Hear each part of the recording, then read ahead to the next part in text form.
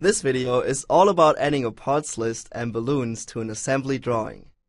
My name's Matthias and this time let's start with having a look at the final drawing first. One of the first things you'll probably notice is the parts list and the balloons. I'll zoom in a bit to show you where they are pointing to.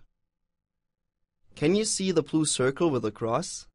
This is called a part reference. It labels a geometry as a part and also contains information about it. When you want to create a parts list, it all starts with adding these part references. Let's go back to an earlier stage of the drawing and see how to do that. I want to add a part reference to this gland. First I switch to the Annotate tab and click the Part Reference button. I select the geometry and attach the part reference. As you can see, I place it on a line. I could as well click in free space, but then when I move the part, the reference won't move with it. In this dialog box, AutoCAD Mechanical asks me to add some information, like name, description, and material. And that's it, we created the part reference. Of course, you can always go back and edit a reference.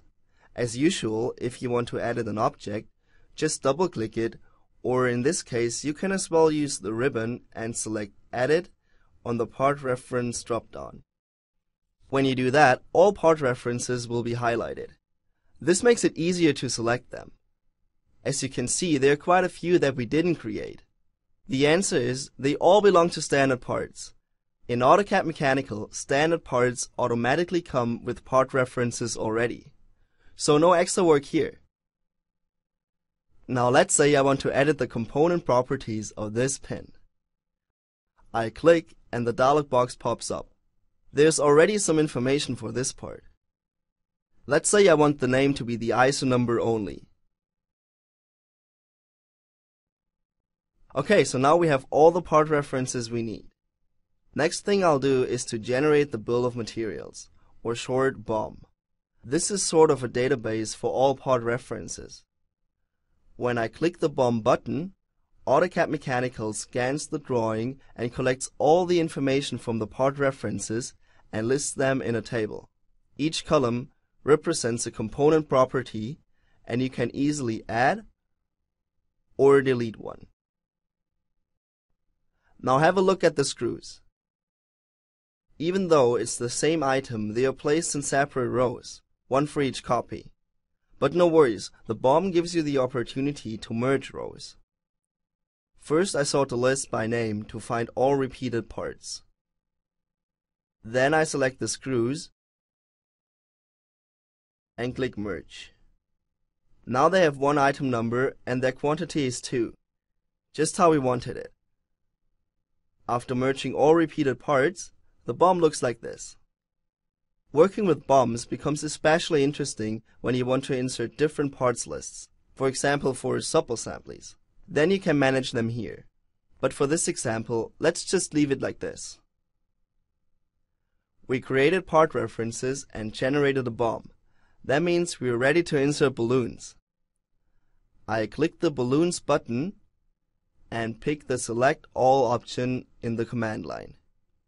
My selection is now restricted to part references. I want to avoid repeated balloons, so I only pick the upper half. Deselect the duplicate washer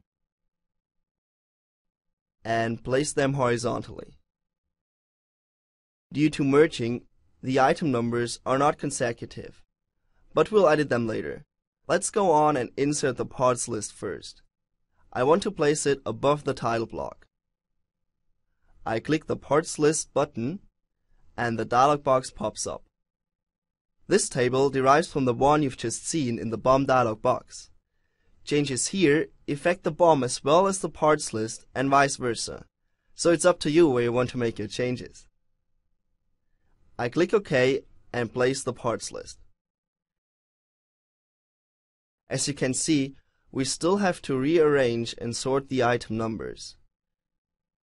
To do that, I go back to the balloon panel and click the renumber command.